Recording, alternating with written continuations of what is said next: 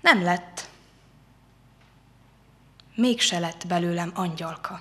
Kilencedik alkalommal szervezte meg a Fehérvár Média Centrum a Székesfehérvári Egyházmegyével, Székesfehérvár önkormányzatával, a Szent István Művelődési Házzal és a Vörös Marti Színházzal együttműködve a Fehérvári Versünnepet.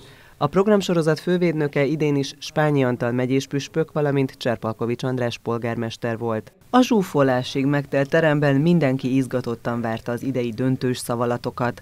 A város polgármestere köszöntőjében először Varga Sándorról, a versünnep megálmodójáról emlékezett meg, majd köszönetet mondott mindazoknak, akik minden évben hozzájárulnak a rendezvény sikeréhez. Ez elsősorban nem egy verseny, hanem inkább egy lehetőség a fiatalok számára, hogy megmutathassák magukat, hogy versválasztásokon keresztül üzenhessenek, és hogy utána aztán akár a verstáborban, akár a város különböző rendezvényei, ünnepségein itt legyenek velünk, és formálják már a közösséget, a közösségünket. A versenyzők bemutatkozó kisfilmjük levetítését követően léptek színpadra. Ribillió. Ribillió rohangálásának volna lenni jó. A döntősök szavalataikkal elvarázsolták a közönséget. A fiatalok hoztak verseket Karintitól, Radnótitól, I. és Gyulától, de Vasalbert verset is választottak.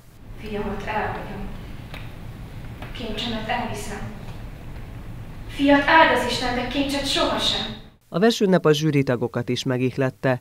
Bobori Zoltán az értékelések közben egy meglepetés verssel rukkolt elő, mely Tornyai Gábor atya tollából született. A lángoló csipkebokor kezembe adta magát, izzását a semmi mögé rejtette, szemem hájuk szürkeségét lefejtve látni engedte a fényt, ami öröktől fogva az övé, és vég nélküli teljessége egy múló pillanatra engem is átváltoztatott önmagával, önmagává, hogy egybeolvadásunk az újra találkozós, találkozás boldog éjségét keltse bennem.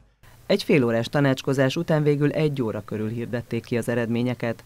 A zsűrinek, vagyis Závodszki Noémi és Kubik Anna színművésznek, Bobori Zoltán író költőnek, Tornyai Gábor katolikus plébánosnak, valamint Vakler Lajos kollégánknak idén sem volt könnyű dolga. Akkor kihirdetném a mai délelőtt abszolút győztesét, hajszálhozta, de megnyerte a versenyt, Barát Eszter.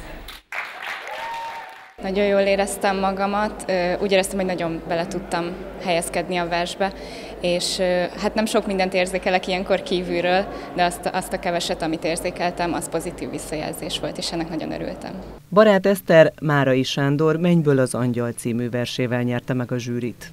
Egyszerre volt csodálatosan bensőséges, Barát Eszter, és egyszerre volt, egyszerre volt tudatos, okos versmondó, indulatai is voltak, és minden sorát értettem, a szeme ragyogott, minden átjött abból, ami az a szándék, amit ő, ő, ő elhatározott, az, az teljesen tükröződött az arcán, és, és nagyon szép volt a végeredmény. A 9. Fehérvári versünnepen a második helyen holt versenyben Varga Eszter és Ferenci Nagy Boglárka végzett, de egyelő pontszámmal teljesített Szűcs Panna és Jónás Olivér is, így ők állhattak a képzeletbeli dobogó harmadik fokára.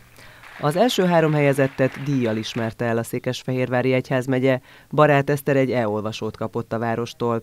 A versünnepen a Szép Hőzé külön díjjal jutalmazta Tóth András Bencét, a Fehérvár Média Centrum pedig Máti Csannát.